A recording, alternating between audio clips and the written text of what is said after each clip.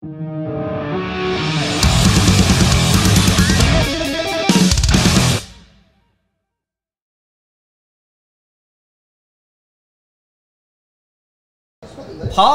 thank you for joining us on the show, man. Thank you for having us. Yeah, good to talk to you again. It's been a little while. But, um, Yeah, it's been, uh, and uh, I mean, for obvious reasons, we haven't been here for a while, but it's even sucks that it's been even longer than that. Yeah, I think it was low. Was it uh, 2018? 18 is correct. Man, see, but it's like we've just lost. it's like it's We, lo- we lost, a- we got part of our life stolen. So e- even though I wouldn't say that we, for us, it was not a waste of time. We did good, good with our time. You sure did. I mean, look. I mean, you've just released a killer album. You've got EPs on the way. You've got it's all happening on Sabotage. Yeah. Yeah, we, we, we managed to do a lot during uh, during the COVID times as well. So I was quite creative and busy. We released the Sabaton magazine. We finished that. That was a long term dream to, to make our own magazine. So we made that. We made a lot with the Sabaton History Channel. We were active with that, even though it was tricky to film some stuff. And um, we, uh, yeah, we, we made an album and a couple of EPs. Uh, we made some shows as well. So I mean, we were we were doing well. Yeah, you have. Yeah, yeah, absolutely. But how's it been back here in Australia? What, what have you sort of discovered coming back? Because this is number. T- this is second time, right? No, we've been here three times. Three Um, times. Yeah, Yep. actually, f- maybe four times. Four times we've been here. Yeah. So, um, but uh, yeah, e- every time we come here, um, of course, the the general feeling, the vibe of the people and the vibe of the country is great. So it's always well, very welcoming to come here. It's different. Everything is a little bit different, like how it's on other places. Other places are very stiff and stale and a little bit more. Uh, I don't know, but just the fact that yesterday on the flight, the the flight attendants were so excited to discuss heavy metal, and uh, they didn't know enough. So me uh, and one guy of another band, we went back there and we had like little party with them, and they were stocking us with constantly with beers just to keep them entertained and talk about the different genres of rock and history of it and stuff like that. So education and this, and they they were so friendly and lovely, and it, it's just it doesn't happen most of the time. I'll be honest. That blows me away. That blows that you come here. But I mean, people are that aren't in the circle of metal. I get asked all the time. They're like, "Oh, I don't, I don't understand it," you know. But once you, like decoding a foreign language, I guess. And once you're in there, you know, you know. Oh yeah. But uh, of course, I mean, you've this lineup is stacked for this festival. It's just incredible. You got heaps of your mates like Gojira, Lacuna Coil, and who, who have you been sort of hanging out and about with when you're not playing? Who's who's your bros? Uh, okay, so so the guys in Electric Callboy um, and uh, Ginger and uh, Milan Colin, obviously. Oh, yes, um, yep, yep, yep. Friends from. We- We're not. We're coming from towns very close to each other, yeah. so we're only like an hour and a half away from each other. So and we crossed paths in the past, so it was nice seeing those guys. I guess like festivals over there are, are really diverse as well. Is that right? Would you say that that's where you all cross paths the most? I mean, Sabaton played hundreds of festivals, so we played on all kind of weird festivals and simple festivals. I mean, that, they are the true metal festivals. We played on uh, on like death and trash metal festivals. We played on um, on festival that is pop festivals, and we have been on. So there are there are all kind of them. You know, this is. Um, I, I think this is more like focused on punk rock and Yeah. the this style and it's um, it's uh, a little bit unusual to see Sabaton in this lineup, but I I'm very happy to be here, and I love this audience. So I, I think we're we're at a nice place.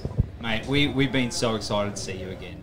Like a lot of like a lot of us metal dudes and, and ladies down here like love Sabaton. Like you know, you've- got such an amazing following down here. Good So- to hear. yeah, yeah, absolutely. And I mean, that's another thing is you come all this way. We are a little backwards here. What's the weirdest thing in Australia that you've discovered that you come back and you go, these guys are just strange? No, I, I wouldn't mind. I mean, of course, the what, what is strange. I mean, it's different. Uh, the it's very strict the rules of bringing anything into the country or moving things around. You know, well, I'm talking about fruits or whatever things like that.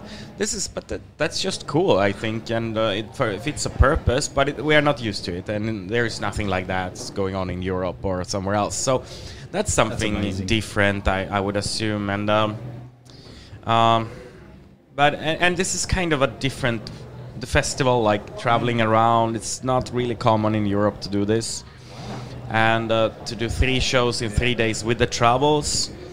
Not also common so a little bit exhausting to be honest but but it works fine. And you've got uh, the Sabaton cruise coming up in a couple of weeks too, don't you? yeah it's the next stop for us. So after this we we go home and we prepare. We just have a week. And then the cruise. Shake off the jet lag and Yeah, it's gonna be. I mean, shake off the jet lag, and um, the cruise. We play lots of songs, so it's something different. You know, we need to practice a little bit before that and wake up some old songs. Um, we play two shows, and they're completely separate. So, um, so it's like the longest set list of Sabaton. That's what always on the cruise. how do you get the tank on there? We don't. That's the that's the charm with the with the cruise. I mean, um, Sabaton often play with a big stage set, a lot of uh, special effects and stuff like that. But on the cruise, it's very naked. And I always think that it, it's um, it's that's why it's so important for us to do the show. I mean, in the end, the core of the band is a couple of guys playing heavy metal. And if we cannot, I mean, we can scale it up to tanks and planes and whatever we do. But if we cannot scale it down to the core, we are not good enough. So I think that the the Sabaton cruise is very important, and it's also cool for the fans to see a naked band. You know, naked not not in terms of you know being physically naked. We, we do have clothes on, but but we don't have anything to hide behind. Some bands struggle with that these days too. I know that, you know in the press there's been bands slinging mud at each other because you know of them got a laptop and they can't play the show to laptop and stuff. Everyone does run things differently, but as you said, I think it is super important for bands to be able to just strip it back when they need to because if things go wrong, and they do, believe me, I dealt with it last week. it will go wrong. So I think that's that's definitely a good thing. And you mentioned also about the fans. You guys are probably the most interactive with your fans. Like and you offer so so much to them as well. Like in terms like you got this Christmas, was it the uh the uh was it the I've wrote it down here too. Look at me this time of morning. The calendar, the advent calendar, that's a word I'm looking for. Um, 24 yeah, it's, days. it's running. It's running now. Um, yeah, I mean, we, we do a lot. Um we stay pretty active. Um, I mean, I like storytelling, and I like to create something around everything, and um, uh, to build a bigger story around everything we do. Um, and um, we have a lot of articles, and you know, the Sabaton History Channel, and the history behind the songs is quite important, and so we, we, we do a lot of stuff with that. And um, for the Christmas, we are we are running this one. It, it- we started it, and um, um, it, it was a fun thing to do, so we keep go, running it. I love the I love the promo video you did for it too. That's pretty good. But you've also released the um, was it the pop up vinyl for Christmas Truce, and that's got like three different versions of the track on there. Yeah, that's true. I mean, we, we, we made a we, we made a pop up of it. Um, we we felt that the song "Christmas Truce" needed. Um, I mean, it maybe it needs to be reminded to people each Yes. and every Christmas. So it's um, yeah, most of our songs they are about the bad stuff about war, but not bad stuff. I mean, there's a lot about heroism and, and good things as well. But I think Christmas Truce, it's a good thing to come back for Christmas every year. And especially with everything that's going on at the moment, we need that. You know, bring people even enemy, en- en- enemy. Let me try that one again. Enemies coming together. You know, even of all levels. It's, it's something. So it's definitely. Definitely. Yeah. Uh, you've also got this EP as well, like the first of a trilogy. Now that one is called. Uh, I wrote it down here as well. My million notes. Remind me. We we released the one called Weapons of the Modern That's Age. the one. It's here. Uh, yeah. So that's one, one out of three. How how'd that come about? Was that written at the same time? Um, not really, but we did. Um, we did three. Well, we did more than that. I think during the COVID we did maybe five recording sessions. So uh, we had we had time. We wrote a lot of songs. Um, we felt that it was a good time to record it as well. And um, then uh, most of it ended up on the album. We got a couple of singles before: "The Royal Guard," "The Defense of Moscow," "Steel Commanders," um, to name a few. But uh, also the the EPs that are coming now. Um, so we, we were pretty busy during this time. Do you, do you have your own studio, like at Sabaton HQ? You've got your own studio. Uh, we don't have a recording studio. Uh, we have plenty of like songwriting studios. So we got um, we got um, a big warehouse in Sweden um, where we live during the recording and writing things, and um, there is. Um, uh, it's in our hometown. It's a huge place full of our stuff. It's a very fun playground if you are in a band. We got tons of stuff. We always was this like we don't really rent so much stuff. We buy it and own it. So there's everything you can dream of, like gigantic LED walls and uh, PAs and uh, all kind of amplifiers and uh, I don't know how many instruments, but shitloads and, and lights, and so I mean we can build our own. Uh, um, not not to mention we have our own festival. It's all Yes. all the stuff are there as of well. We got stages, uh, tanks, and buses, trucks. We we got um, you know it's it's a playground for anybody and.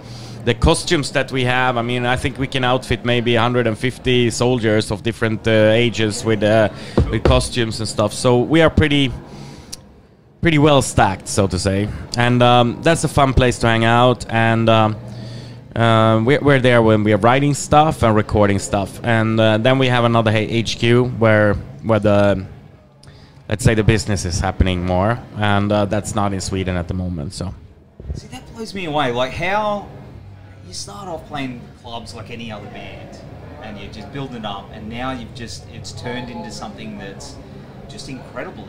It's massive. It's such a massive empire. Like, did you ever imagine that Sabaton would get to this point? I mean, You dream about you it. dream about it, um, and then you have to follow that. And at some point, you know, you realize that yes, we can make these things. I mean, uh, I I don't think we were alone with dreams. Everybody has them who starts a band. It's um, at some point you can realize them, and now it's pretty difficult to stop us.